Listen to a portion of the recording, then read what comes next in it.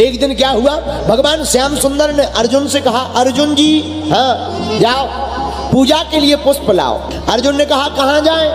सामने वन है कदली वन अंजनी माता ने जहाँ पर श्री हनुमान जी को अवतार करवाया, जन्म दिया, अर्जुन फूल तोड़ने वहीं गए। लेकिन हनुमान जी भी वहीं थे। अर्जुन जी ने किसी को पूछा नहीं, न देखा।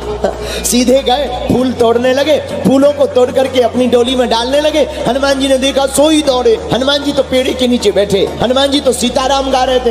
हनुमान जी ने देखा, हे भगवान, कोई आ गया फूल तोड़ने। पूछा तक नहीं। हनुमान जी दौड़े। कौन? अर्जुन जी बोले, हम हैं धनंजय। अर्जुन, हनुमान जी बोले, ये राम जी का बाग है। पूछ कर नहीं तोड़ सकते फूल? अरे जब हम बैठे थे, हमसे पूछ लेते। कि फूल तोड़ना अर्जुन जी बोले तो कौन सा हमने पाप कर दिया? पूजा के लिए ही तो तोड़ रहे थे। हनुमान जी बोले, पूजा के लिए ठीक है, लेकिन पूछना चाहिए, एक बात बताओ, कौन से भगवान के लिए तोड़े? बोले, भगवान कृष्ण के लिए। हनुमान जी बोले तो ठीक है फिर तो ले जाओ। अर्जुन जी बोले, नहीं नहीं, अभी तो बड़ी बातें कर रहे थे, अब क्यों कह रहे कि ले जाओ? हनुमान जी हँसते हुए विनोद में बोले, जिनका भगवान ही चोर हो, उनका क्या कहना? अब अब तुम फूल ले जाओ। अर्जुन जी को बड़ा बुरा लगा। अर्जुन जी बोले, वाह, हमारे भगवान को चोर बताते हो, तुम अपने भगवान की नहीं कहते?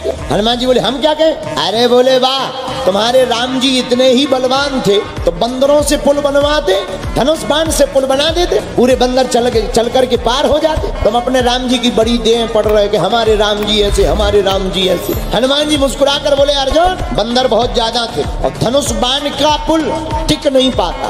बोले, क्यों तुम्हारे भगवान ताकतवर नहीं थे? बोले, ताकतवर तो थे, पर बंदर भी कम नहीं थे। अर्जुन बोले मतलब? हनुमान जी बोले, सुना, उस पुल पे अनेक बंदर तो छोड़ो, राम जी का एक ही बंदर तोड़ देता। अर्जुन जी बोले, तुम्हें इतना गुमान? हनुमान जी बोले, गुमान नहीं, स्वाभिमान है।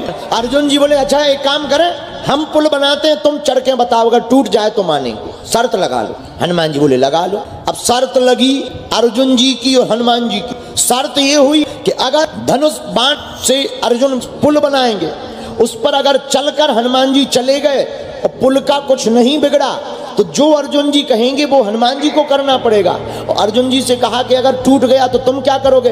अर्जुन जी बोले, अगर टूट जाएगा तो हम अपने प्राण त्याग देंगे। हनुमान जी बोले, हो जाओ तैयार, चिता की भी तैयारी कर लो, क्योंकि बचना नहीं है। अर्जुन जी बोले, देखते हैं। अर्जुन जी ने बाणों की वर्षा की, विशाल पुल बना दिया।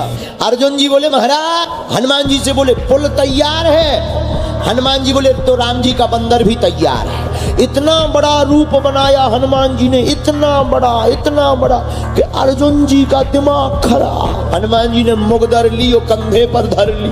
अर्जुन जी बोले, जो थोड़ा मोड़ा वज़न बचता ही, सो ये गदा में बढ़ गया नन्हे वीर बजरंग बली, केवल रूप बड़ा नहीं। हनुमान जी ने एक एक योजन एक योजन मतलब चार किलोमीटर का एक पत्थर एक एक रोम में बाँध लिया अब विचार करो कि इतना भारी शरीर और हर रोम में चार चार किलोमीटर का बंधर, पत्थर बंधा अर्जुन काँप गए। अर्जुन जी के आंसुआ निकलने लगे वाइब्रेशन मोड में पहुँच गए। हनुमान जी बोले, क्यों काँप रहा है? बोले, कांपना हमें तो हार्ट अटैक आ रहा हो। कह रहे काँप क्यों रहे अटैक आ रहा अर्जुन जी हाथ जोड़ के रोते हुए बोले हे भगवान कन्हैया ब्रज में संकट पड़ो तो तो आपने एक ही पर्वत उठाओ तो। इन भाई साहब हाँ देखो अनेक पर्वत उठाए फिर रहे। रोम रोम में बांधे रोम रोम में पर्वत अब बचाओ। हनुमान जी बोले अर्जुन जी पाँव धरे। अर्जुन जी बोले धरो। हनुमान जी ने एक पाँव धरो सो चले सुगा पाताल तुरंत। एक ही पाँव में जितनो ऊंचो पुल बनाओ तो पूरा स्वाहा। हनुमान जी बोले, लो देख रही ताकत